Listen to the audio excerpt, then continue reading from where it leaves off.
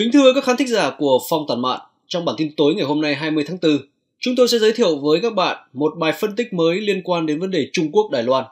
Tờ Bưu điện Hoa Nam, South China Morning Post mới đây đã đăng tải một phân tích của giới chuyên gia về những lý do mà Trung Quốc ít có khả năng sử dụng vũ lực để thâu tóm Đài Loan. Các bình luận này được đưa ra trong bối cảnh cuộc chiến mà Nga gây ra ở Ukraine đã làm dấy lên đồn đoán về một chiến dịch của quân đội Trung Quốc nhắm vào đảo Đài Loan trong ngắn hạn. Tuy nhiên Bắc Kinh khó có khả năng thực hiện sớm bước đi táo bạo này đối với đảo Đài Loan bởi vì việc đó không đem lại lợi ích chiến lược cho họ.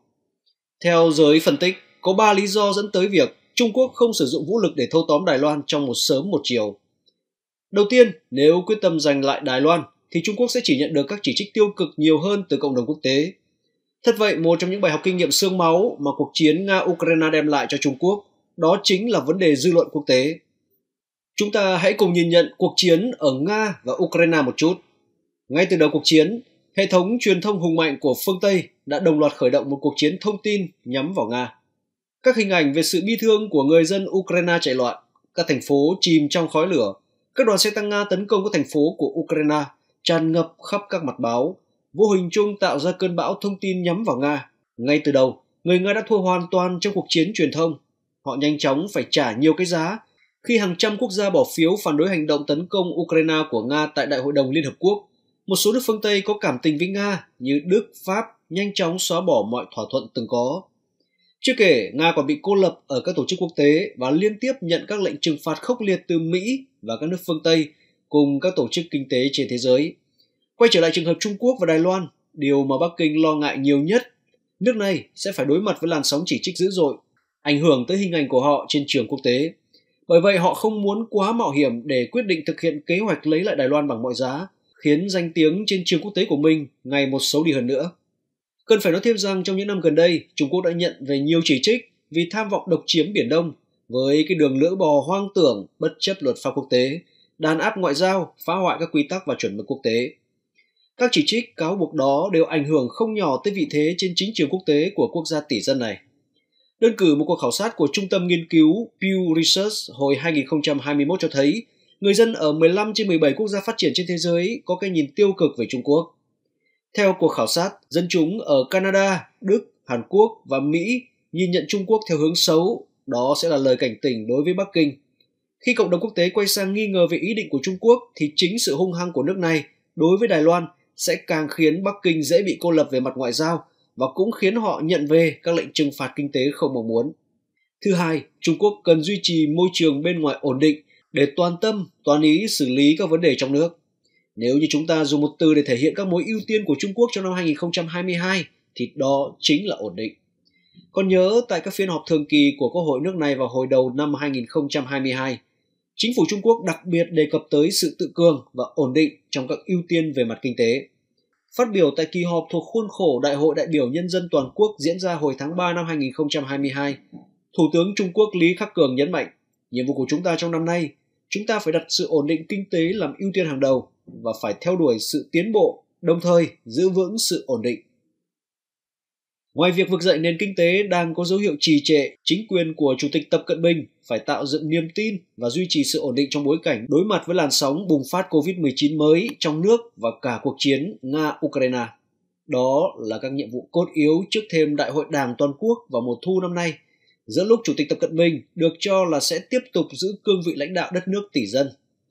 Những gì mà Bắc Kinh cần làm bây giờ không phải là chiến tranh mà là tăng cường ổn định, tạo công an việc làm và tăng phúc lợi xã hội để giúp người dân an lòng trong tình hình kinh tế thế giới bất ổn. Để làm điều đó, giới lãnh đạo Trung Quốc cần ưu tiên xây dựng các mối quan hệ thương mại mạnh mẽ hơn với các đối tác kinh tế và khôi phục lòng tin với các nước láng giềng. Chắc hẳn các nước trong khu vực muốn nhìn thấy các tàu chở hàng của Trung Quốc đang di chuyển trên biển, chứ không phải là các tàu chiến đằng đằng sát khí của anh bạn nước láng giềng. Và trong trường hợp Bắc Kinh phát động một cuộc chiến thống nhất Đài Loan, nó sẽ khiến nhiều nước phân tâm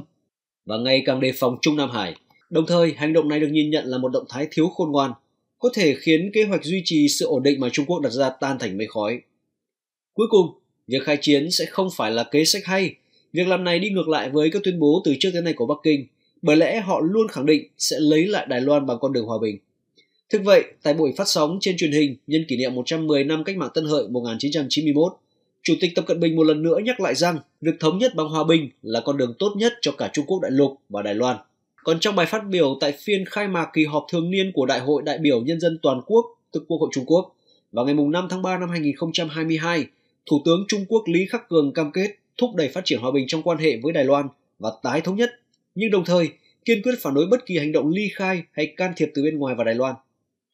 Chúng tôi sẽ thúc đẩy sự phát triển hòa bình của các mối quan hệ xuyên eo biển Đài Loan và thống nhất Trung Quốc. Chúng tôi phản đối bất kỳ hoạt động ly khai nào nhằm tìm kiếm độc lập cho Đài Loan và kiên quyết phản đối sự can thiệp của nước ngoài. Tất cả chúng ta, những người Trung Quốc hai bên bờ eo biển Đài Loan, nên hợp tác cùng nhau nhằm thúc đẩy sự nghiệp phục hưng vĩ đại và vẻ vang của Trung Quốc, ông Lý tuyên bố. Theo chuyên gia Li Guchen tại Đại học Hạ Môn Trung Quốc, bài phát biểu của ông Lý Khắc Cường có nội dung giống với các năm trước. Bất kể Mỹ và Đảng Dân Tiến tại Đài Loan đang chơi trò gì, họ sẽ không thể tác động tới quyết tâm của chính phủ Trung Quốc trong đường lối mà họ đã đặt ra đối với Đài Loan, chuyên gia Lưu cho hay.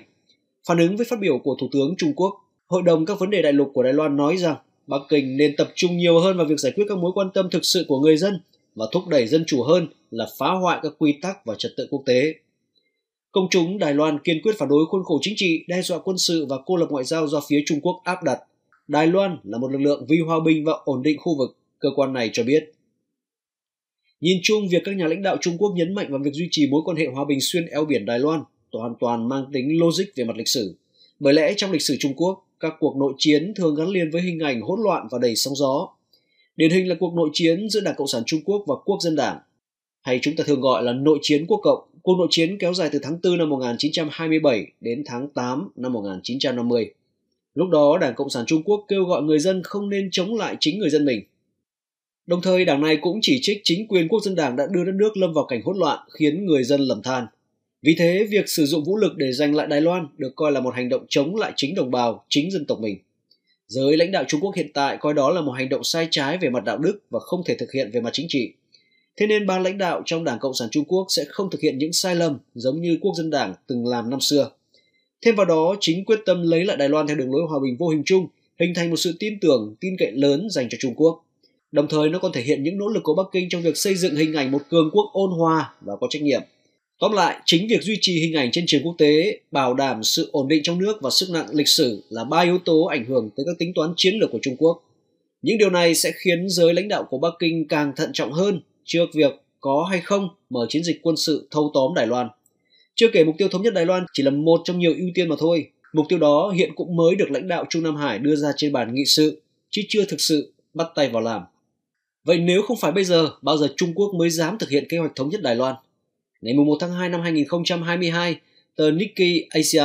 dẫn lời giáo sư Kim Sán Vinh thuộc trường nghiên cứu quốc tế Đại học Nhân dân Trung Quốc dự báo thời gian chính quyền quốc gia tỷ dân lấy lại Đài Loan. Giáo sư Kim nhận định, một khi đại hội toàn quốc của Đảng Cộng sản Trung Quốc kết thúc vào mùa thu năm nay, kịch bản thống nhất bằng vũ trang sẽ trở thành hiện thực. Rất có thể giới lãnh đạo sẽ tiến tới thống nhất bằng vũ trang vào năm 2027, đúng dịp kỷ niệm 100 năm ngày thành lập quân đội